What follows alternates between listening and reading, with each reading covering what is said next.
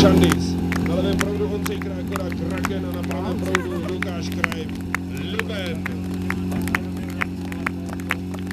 Největším úspěchem této družstva je vypít desítku Herod a neposrat se.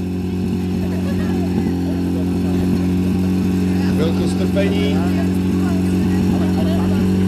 A můžeme, pane startére, start číslo dvě.